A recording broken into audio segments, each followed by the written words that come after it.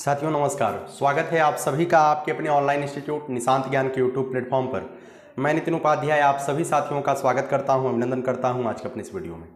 मित्रों, बहुत दिनों के बाद मैं वीडियो दे रहा हूँ और मैं आपसे माफ़ी चाहता हूँ कि मैंने कहा था कि बी पी का वीडियो एक दो दिन में दे दूँगा, लेकिन आज यह पंद्रह दिन लेट हो गया है, उसके लिए मैं आपका मतलब कि माफ़ी चाहता हूँ, क्योंकि मेरे सामने कुछ समस्याएँ थी हेल्थ इशूज थे, जिसकी वजह से मैं वीडियो नहीं बना पाया, ठीक है?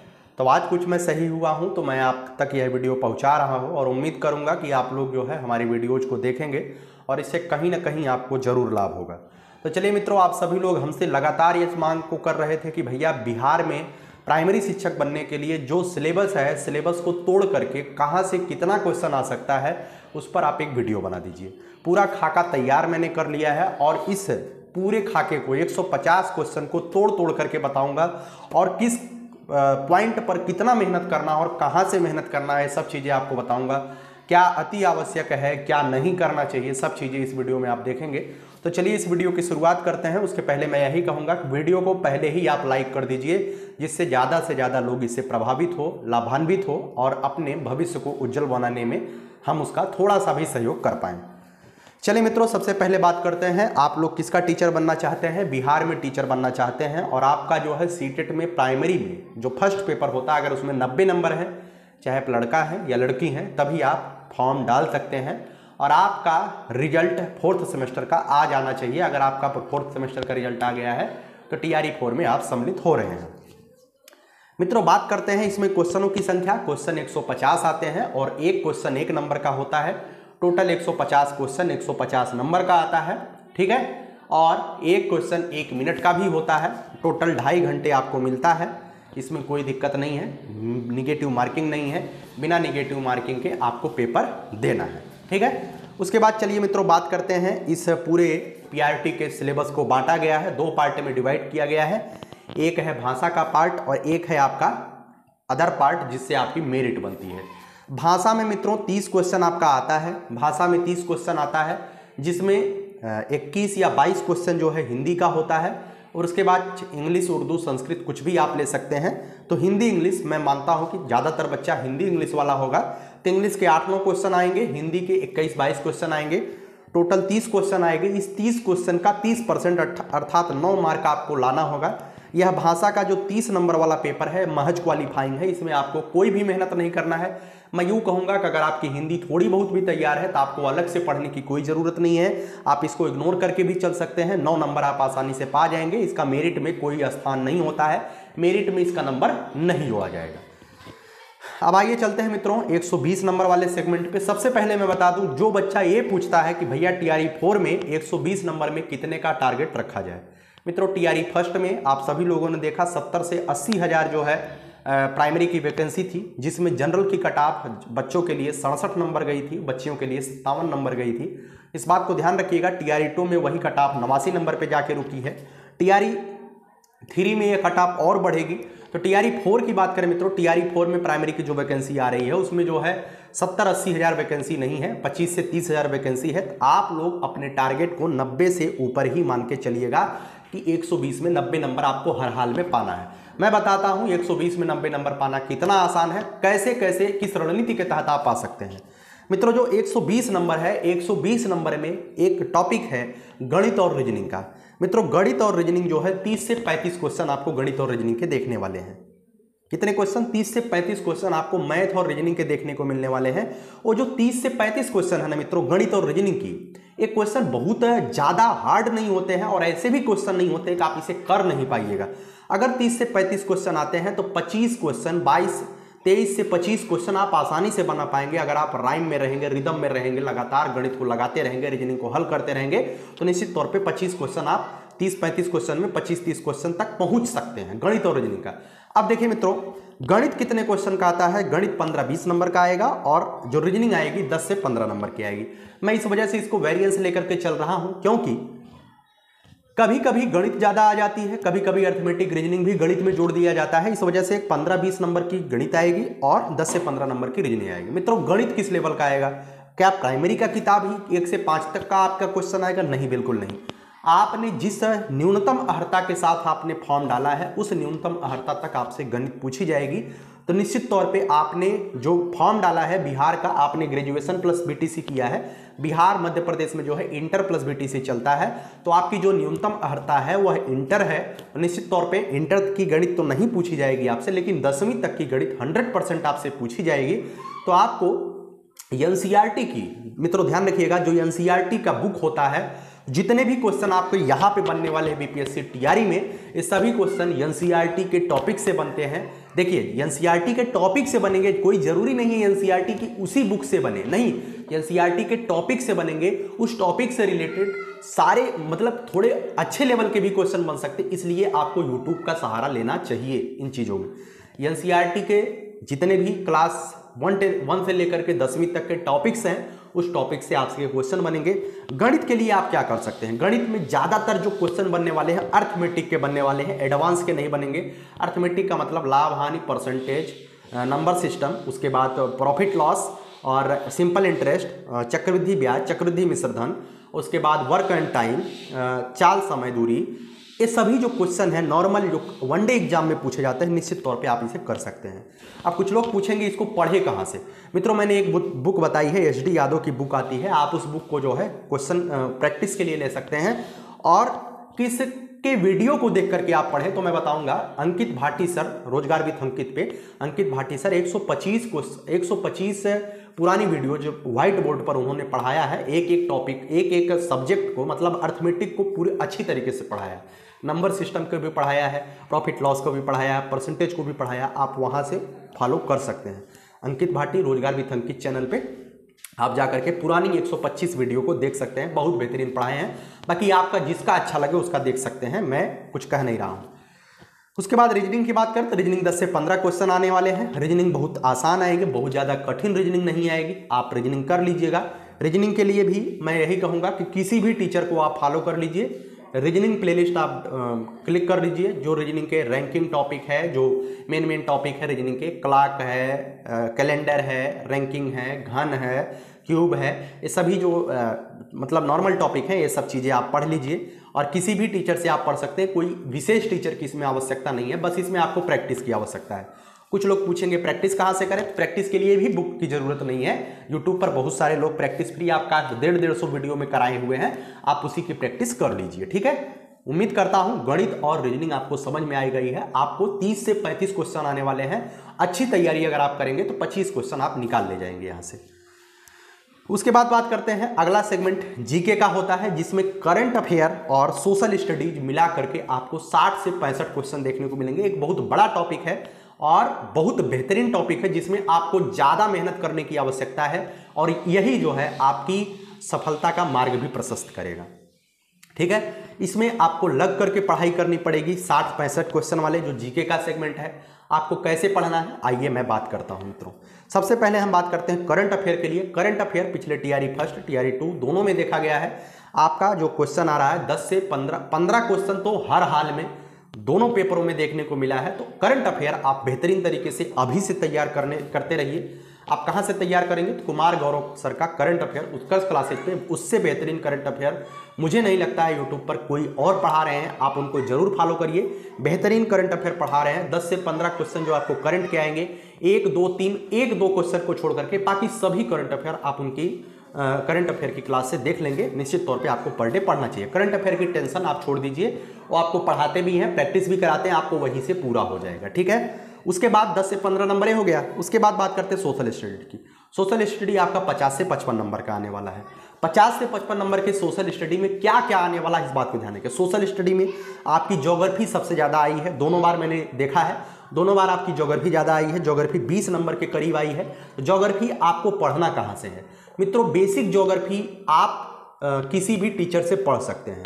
मैं नहीं कहूँगा किसी एक टीचर से पढ़िए बेसिक जोग्राफी आप किसी भी टीचर से पढ़ सकते हैं लेकिन आपको क्लास सिक्स से लेकर के टेंथ तक की जो एन e की जोग्राफी आपको उसको ज़रूर पढ़ना है। क्योंकि जो एन e के टॉपिक्स दिए गए हैं जैसे एन e के टॉपिक्स में अगर कहीं ग्रह दिया गया है निश्चित तौर पे ग्रह में अगर थोड़ा सा उन्होंने समझाया है तो ग्रह के पूरे टॉपिक को आपको समझना है। देखिए एन से केवल आपको टॉपिक देखना है कि फलाने टॉपिक से क्वेश्चन मतलब फलाना टॉपिक एन के बुक में दिया गया। है लेकिन उसी जितना उस किताब में दिया गया केवल उतने पढ़ करके आपका काम नहीं चलेगा। आपको उससे आ, आगे पढ़ना पड़ेगा। उससे आगे पढ़ने के लिए जैसे जो टॉपिक दिया गया उस टॉपिक को आप पर्सनल यूट्यूब पर सर्च कर लीजिए। अच्छे टीचर आपको मिल जाएँगे उस टॉपिक को आप कंप्लीट कर लीजिए। ज्योग्राफी के लिए आप चाहे जिससे पढ़ सकते हैं। मैं टारगेट विद आलोक के, आलोक सर का पुराना वीडियो है, मैं वहाँ से पढ़ा हूँ कभी तो आप उनको भी देख सकते हैं। बाकी आप जिससे भी पढ़ना चाहते हैं, रोज़गार विथ अंकित पे भी एक टीचर पढ़ाते हैं अंकित चौधरी नाम से पढ़ाते थे, अभी वो अलग हो गए हैं तो आप उनका भी वीडियो देख सकते हैं। मतलब बेसिक जोग्राफी के लिए। ऐसा नहीं है कि आप जोग्राफी के बादशाह बन जाइए, और उससे, उसके साथ साथ जो लूसेंट की जोग्राफी है, आपको उसको पूरा पढ़ लेना है तीन से चार बार लूसेंट की जोग्राफी पढ़ लेना है। लूसेंट जो पतली वाली सामान्य ज्ञान की बुक आती है। और और जोग्राफी के लिए, जैसे कुछ बच्चों ने हमसे कहा कि, सर, मैंने खान सर का बैच लिया है, आपने कहा था। हिस्ट्री जोग्राफी और पॉलिटिकल साइंस के लिए। बहुत अच्छा आपने किया था, अगर आपने खान सर का बैच ले लिया है तो आपको कुछ पढ़ने की ज़रूरत नहीं है। उसके साथ, उसके अलग से केवल आपको एन e के टॉपिक्स पढ़ लेने हैं एन e की बुक पढ़ लेनी है। बुक पढ़ने का तरीका मैंने बताया कैसे पढ़ना, ठीक है? जोग्राफी आपको समझ में आ गया? या तो आप खान सर का रिकॉर्डेड वीडियो ले लीजिए, खान ग्लोबल स्टडीज़ से ऐप से, पूरा पढ़ लीजिए, उन्होंने फाउंडेशन पढ़ाया है, बेहतरीन पढ़ाया है, पढ़ लीजिए। या तो आप किसी भी टीचर से बेसिक ज्योग्राफी पढ़ लीजिए और लूसेंट की ज्योग्राफी को दो तीन बार रिवाइज कर लीजिए। और एनसीईआरटी पढ़ना बिल्कुल मत भूलिएगा एनसीईआरटी ज़रूर पढ़िएगा। ठीक है? बीस नंबर की ज्योग्राफी आपकी आने वाली है। उसके बाद बात करते हैं हिस्ट्री की। हिस्ट्री भी पंद्रह से बीस के बीच में आएगी। सोलह सत्रह क्वेश्चन आते हैं। तो हिस्ट्री में ज़्यादातर क्वेश्चन कहाँ से आएँगे? हिस्ट्री में ज़्यादातर क्वेश्चन आपका मॉडर्न हिस्ट्री और आईएनएम से पूछे जाएँगे। अगर सत्रह अठारह क्वेश्चन आपकी हिस्ट्री से आने वाले हैं तो मॉडर्न हिस्ट्री सत्रह सौ सत्तावन से लेकर के उन्नीस सौ सैंतालीस तक का जो इतिहास है, इससे बहुत ज़्यादा क्वेश्चन आता है। मैं कहूँगा, आठ से नौ क्वेश्चन यहीं से आएगा। आपको पढ़ना कहाँ से है? आपको एन पढ़नी है। एन पढ़ने के साथ साथ आपको किसी भी टीचर का इस्तेमाल मतलब किसी भी टीचर को फॉलो ज़रूर करना है। क्योंकि जो ये हिस्ट्री होती है हिस्ट्री को बेहतरीन तरीके से पढ़ने के लिए किसी एक टीचर को फॉलो कर लीजिएगा। मैं इसके लिए भी खान सर को एडवाइज करूँगा। खान सर का रिकॉर्डेड बैच आप हिस्ट्री का लेकर के पढ़ लीजिए। लेकिन इसके साथ साथ मैं दोबारा से बोलूँगा कि एन को आपको ज़रूर पढ़ना है। एन के टॉपिक्स को ज़रूर पढ़ना है। एन के टॉपिक्स में कुछ लोग कहता है, भैया वर्ड हिस्ट्री आएगा कि नहीं आएगा? एक से दो क्वेश्चन वर्ड हिस्ट्री में आ जाएगा। अब एक से दो क्वेश्चन की वर्ड हिस्ट्री के लिए आपका अच्छा नाइन टेंथ की वर्ड हिस्ट्री पढ़िए। मैं नहीं कहता हूँ पढ़िए, कोई ज़रूरत नहीं है, लेकिन हाँ आप क्लास सिक्स टू टेन एक बार तो आपको इतिहास ज़रूर पढ़ना, पढ़ लेना चाहिए, ठीक है? ज़्यादा मेहनत आपको सत्रह सौ सत्तावन से लेकर के उन्नीस सौ सैंतालीस तक करना है, ठीक है? उसके साथ साथ 1600 से लेकर के जो तमाम कंपनियाँ आई हैं, उस पर आपको पढ़ाई कर लेना है। मिडवल हिस्ट्री नॉर्मल पढ़ लेना है।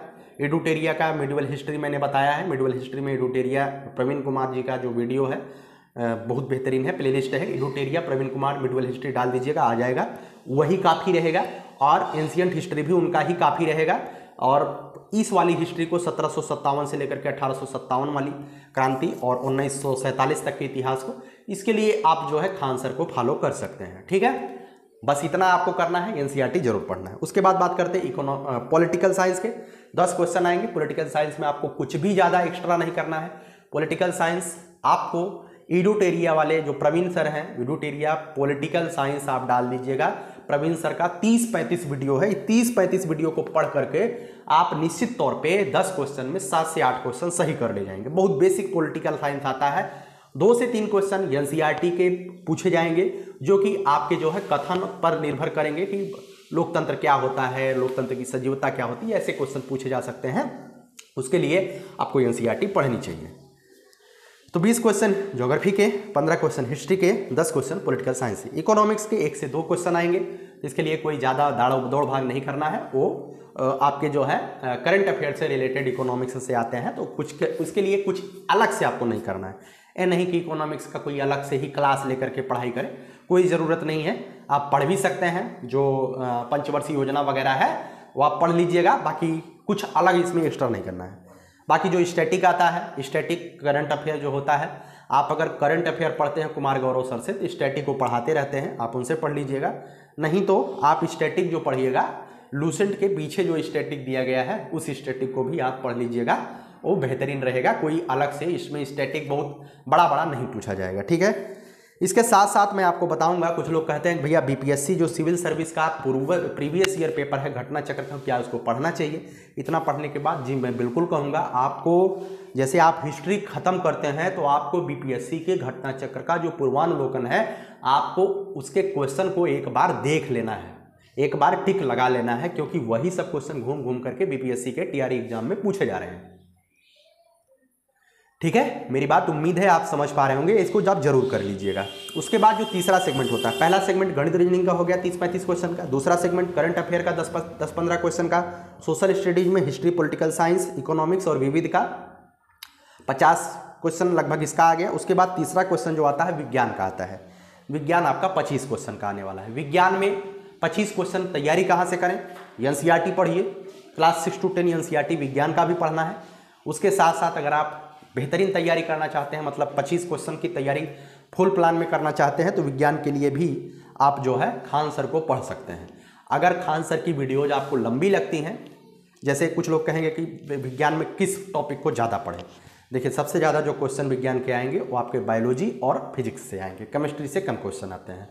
तो सबसे ज़्यादा मेहनत आपको फिजिक्स वाले जो शुरुआत के चैप्टर्स होते हैं, मात्रक वगैरह सदिश राशि, अदिश राशि, गति, चाल, बल, इस सब पे कर लेना है थोड़ा सा व्यू बना लेना है।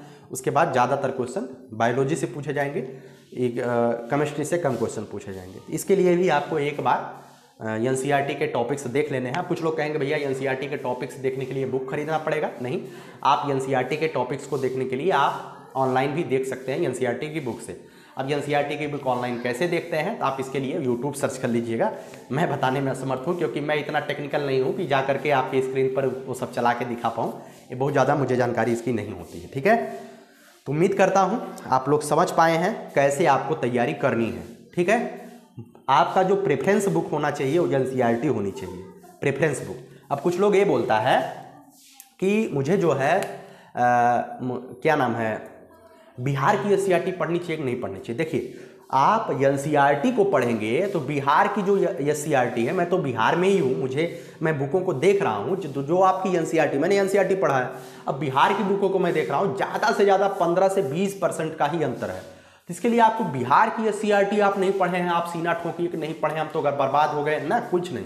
दस से पंद्रह परसेंट का जो अंतर है ना वो आपको बेसिक चीज़ें आती हैं उसमें।